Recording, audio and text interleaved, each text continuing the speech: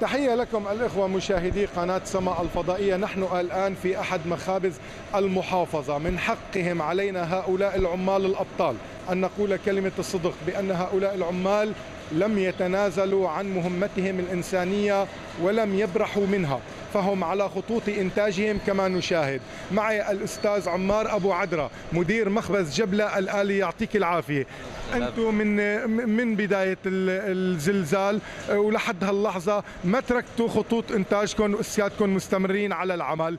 كيف عم تقضوا العمل؟ ولا سيما أن صارت المهمة يعني أكبر فهناك مراكز إيواء قريبة من محيط هذا المخبز.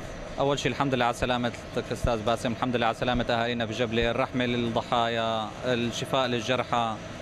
آه، نحن كعمال مخبز جبل الآلي آه، من بعد الزلزال القاسي والصعب على الجميع حتى على العمال.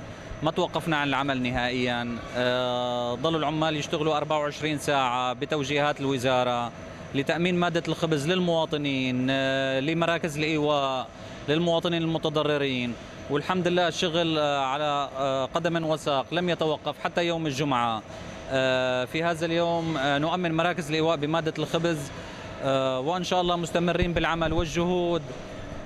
وإن شاء الله دائما مستمرين بالعمل والجهود. آه، والشكر الكبير دائما لازم ننساه لجهود هذه العمال الطيبة الذين كلهم عانوا مثل ما عانوا نعم كمان ما شاء الله يعني بنوتك مع آه الله يخليك يا رب. إن شاء الله يا رب إن شاء الله يا رب. مستمرين بالعمل والله يحمي مدينتنا والله يحمي أهل بلدنا في سوريا والحمد لله على سلامة الجميع إن شاء الله.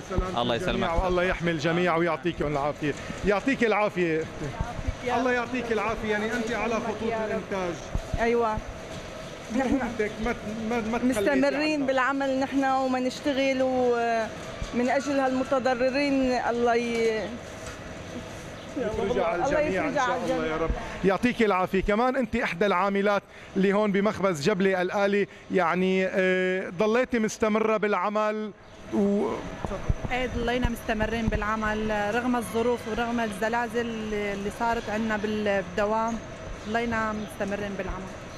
يعطيك العافية شكرا. يعني حتى هذا اليوم هو يوم جمعة يوم عطلة يعني كان من حق هؤلاء العمال أن, أن يستريحوا. ولكن يعني المهمة الإنسانية هي فوق كل المهمات.